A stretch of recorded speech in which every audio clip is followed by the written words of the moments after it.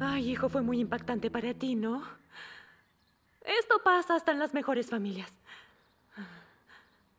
A decir verdad, no me parece. No había visto nunca algo como esto.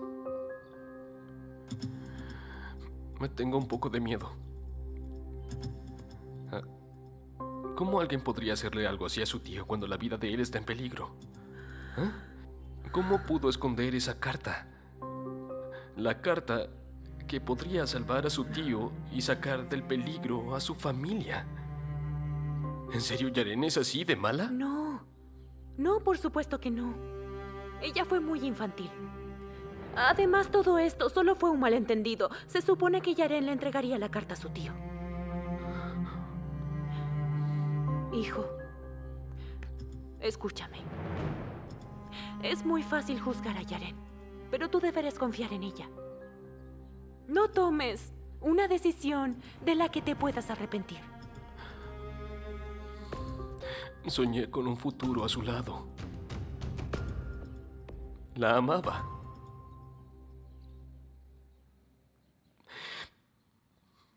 No sé cómo decirlo, pero creo que no podré hacerlo.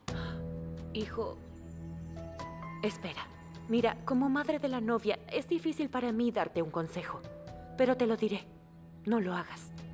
Mantén esa argolla en tu dedo. Solo escúchame. Es cierto, Yaren a veces puede ser egoísta y muy impulsiva, ya te habrás dado cuenta. Pero con el tiempo se le pasará, debes creerlo. Dejará esa faceta infantil. Dices que soy como tu madre. Así que escucha a tu madre, hijo. No decidas nada todavía.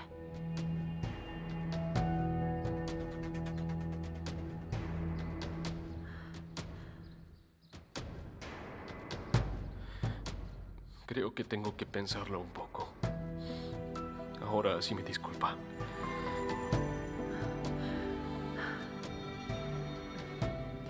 De acuerdo, hijo, piénsalo.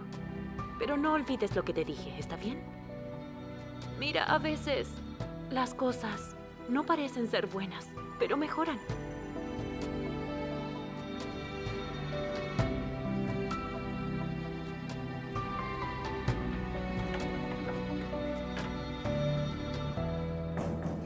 Por supuesto que ahora vas a desconfiar.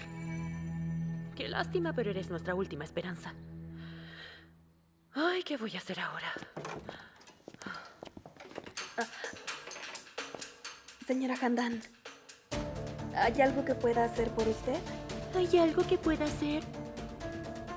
Mira, lo único que podrías hacer por mí en este momento es renunciar al apellido Sadoglu e irte de esta mansión, pero ni siquiera pudiste hacer eso. Ahora tú eres la fuente de las desgracias aquí. Cuidado con lo que dice, señora Handan. No quería que las cosas llegaran a este punto. Gracias a ti, ahora mi matrimonio está en la cuerda floja. ¿Sabías eso? Señora Handan, me dijo que me fuera y me fui. Dejé a Asad atrás y me fui. ¿Y qué diferencia hizo? Te fuiste para tratar de salvar a Asad, pero esa misma noche volviste a la mansión. Y por tu culpa ahora mi hijo me da la espalda. Dime, ¿por qué crees que ahora estoy pasando por esto? Lo hago para proteger a mi hijo de la furia de tu abuela. Pero no llegará más lejos, porque no se lo voy a permitir. Tú ya no puedes vivir en esta mansión, Elif. Esa decisión no le corresponde a usted, señora Handan. Esa decisión nos corresponde a Asad y a mí. Ah, veo que estás olvidando tus modales y ahora amenazas a tu suegra, ¿no, Elif? No tengo nada más que perder. Pero si usted sigue teniendo esta actitud, podría terminar perdiendo mucho. Insolente. Ya vas a ver. Esta mansión será un infierno para ti. Haré que el tiempo que pasaste con tu abuela te parezca un completo paraíso.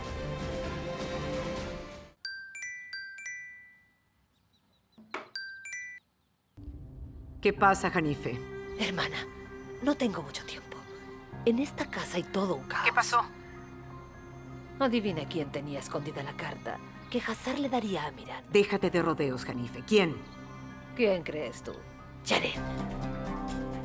Vaya, la serpiente rubia. ¿Y la carta de dónde la sacó? ¿Alguien se la dio? No lo sé, hermana. Tampoco dijo mucho. Averigua algo más y manténme informada, hermana. Bien, no te preocupes. Pequeña diablita. ¿En qué estabas metida, niña? ¿Qué planeabas hacer con la carta?